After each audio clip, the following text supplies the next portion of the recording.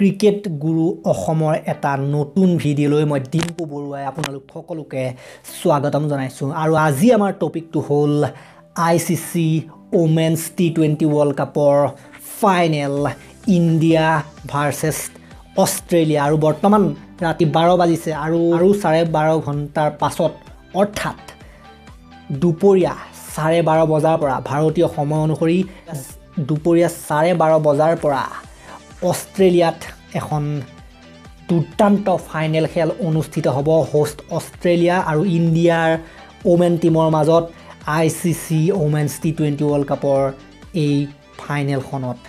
আৰু যদিহে ক'বলৈ যাওঁ ভাৰতৰ কথা ভাৰতে যিকোনো ফৰ্মেটৰ ৱৰ্ল্ড কাপ হওক পঞ্চাছ অভাৰ ৱৰ্ল্ড কাপেই হওক বিছ অভাৰ ৱৰ্ল্ড কাপেই হওক কোনোদিনা ভাৰতীয় মহিলা টীমে কোনো বিশ্বকাপ জিকিবলৈ সক্ষম হোৱা নাই। ফাইনেল পাইছে অৱশ্যে। ফাইনেল কেইবাবাৰো পাইছে। পঞ্চাছ অভাৰ ৱৰ্ল্ড কাপৰ ফাইনেলত দুবাৰ পাইছিলে। ইংলেণ্ডৰ হাতত যোৱাবাৰ পৰাস্ত হৈছিলে ওমেন ৱৰ্ল্ড কাপৰ ফাইনেলত আৰু এই টি টুৱেণ্টি ৱৰ্ল্ড কাপটোৰ যদি আমি কথা কওঁ যিসকলে চাই আছে ৱৰ্ল্ড কাপটো তেওঁলোকে জানে যে কিমান সুন্দৰ প্ৰদৰ্শন কৰিছে ভাৰতীয় মহিলাসকলে। এতিয়ালৈকে অপৰাজয় হৈ আছে। গ্ৰুপ মেচ গোটেইকেইখনৰ পৰাজয় হ'ল। ছেমি ফাইনেলখন পৰিছিলে ইংলেণ্ডৰ লগত কিন্তু ইংলেণ্ড ইংলেণ্ডতকৈ ভাৰতৰ পইণ্ট বেছি হৈ আছিলে। সেইবাবে খেলখন বৰষুণ দিলে এটাও বল নিদিয়াকৈ খেলখন শেষ হৈ গ'ল আৰু ভাৰতক বিজয়ী ঘোষণা কৰা হ'ল কাৰণ ভাৰতৰ পইণ্ট বেছি আছিল। সেইটো বেচিছত ভাৰত ফাইনেল পালে।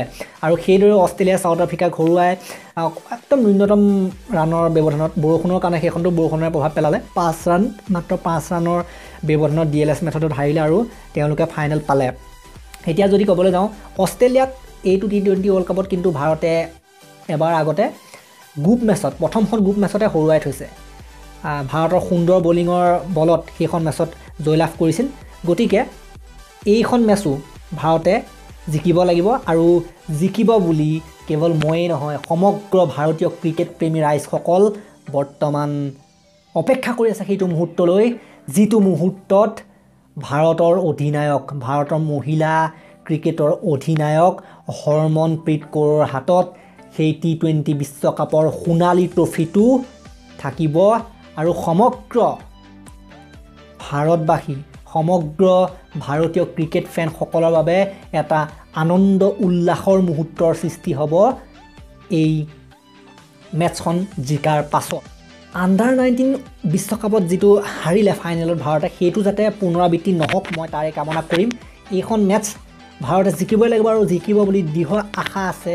কাৰণ অষ্ট্ৰেলিয়াতকৈ ভাৰত বৰ্তমান অত্যন্ত শক্তিশালী লাগিছে।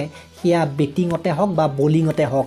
আৰু অষ্ট্ৰেলিয়াৰ allrounder number one player women's ক্ৰিকেটৰ এলিছ পেৰী তেওঁ আঘাতপ্ৰাপ্ত হৈ বিশ্বকাপৰ পৰা বাহিৰ হৈছে। সেইখন খেলত নেখেলে ফাইনেলত নেখেলে। গতিকে সেইটো ভাৰতৰ কাৰণে এটা এডভান্টেজ আৰু ভাৰতৰ এই বিশ্বকাপৰ ফাইনেলত যদি জয়লাভ কৰাৰ ক্ষেত্ৰত কোনে কোনে মুখ্য ভূমিকা পালন কৰিব পাৰে সেই বিষয়ে মই আজি আপোনালোকক কৈ দিব বিচাৰিম। প্ৰথমতে ভাৰতৰ দুৰ্দান্ত বেটছমেন বেটমেন প্ৰথমতে যি বেটিং কৰিবলৈ আহে অপেনাৰ হিচাপে চেফালী বৰ্মা। মাত্ৰ ষোল্ল বছৰীয়া যুৱতী চেফালী বৰ্মা অত্যন্ত সুন্দৰ প্ৰদৰ্শন কৰি আছে লেডি চেহৱাগ। চেহৱাগৰ দৰে তেওঁ প্ৰদৰ্শন কৰে লেডি চেহৱাগ হিচাপে। খ্যাত হৈছে সমগ্ৰ ভাৰতবৰ্ষত সমগ্ৰ বিশ্বত।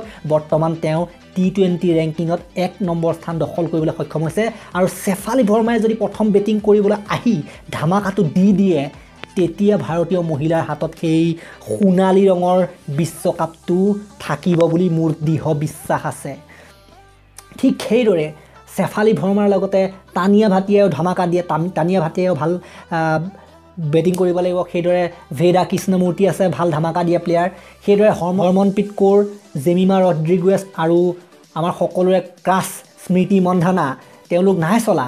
এইটো বিশ্বকাপত তেওঁলোকৰ বেট একেবাৰে নাই চলা। পোন্ধৰ সোতৰ এনেকুৱা ৰান কৰি আছে ইমান ভাল চলা নাই। কিন্তু কিছুমান এনেকুৱা প্লেয়াৰ থাকে যি এনেকুৱা ফাইনেলবিলাকতহে গৈ পেলাই ভাল প্ৰদৰ্শন কৰে। গতিকে আমি ক'ব নোৱাৰোঁ হৰমনপ্ৰীতেও মাৰি দিব পাৰে বহুত ডাঙৰ স্ক'ৰ হয়তো স্মৃতিয়েও মাৰি দিব পাৰে হয়তো জেমিমা ৰদ্ৰিগেজেও মাৰি দিব পাৰে। গতিকে এইটো ক্ষেত্ৰত আমি ক'ব নোৱাৰিম ফাইনেলখন মেইন হয়। আৰু বলিঙৰ ক্ষেত্ৰত যদি ক'বলৈ যাওঁ বেটছমেনৰ ক্ষেত্ৰত এইকেইগৰাকীয়ে ভাৰতৰ যিটো স্ক'ৰ সেইটো কৰিব লাগিব। আৰু বলিঙৰ যদি কথা ক'বলৈ যাওঁ আমি শিখা পাণ্ডে পেচ বলাৰ অত্যন্ত সুন্দৰ প্ৰদৰ্শন কৰি আছে। তিনিটা বলত ন ৰান লাগিছিলে সেইটো ছেভ কৰি দিছে। সেইদৰে পুনম য়াদৱ। অত্যন্ত সুন্দৰ বলিং কৰি আছে পুনম য়াদৱে। চাৰিটা পাঁচটা উইকেট লৈ এখন মেচত খেল লুটি বাগৰ মৰাই দিছে। ৰাধা য়াদৱ চাৰিটা পাঁচটা উইকেট লৈ খেল লুটি বাগৰ মৰাই দিছে। সেই পুনম য়াদৱ ৰাধা য়াদৱ শিখা পাণ্ডে ৰাজেশ্বৰী গায়কোৱাড এওঁলোকে সুন্দৰ বলিং কৰিব লাগিব। গতিকে ভাৰতে এইটো বিশ্বকাপত এটা টীম হিচাপে খেলি আছে।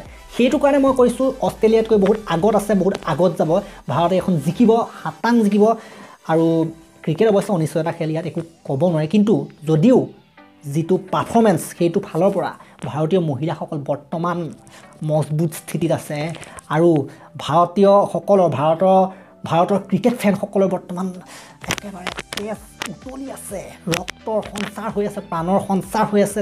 ভাৰতে এই বিশ্বকাপ নিজৰ কৰিব আৰু অষ্ট্ৰেলিয়া পৰাজিত হ'ব নিজৰ ভূমিত।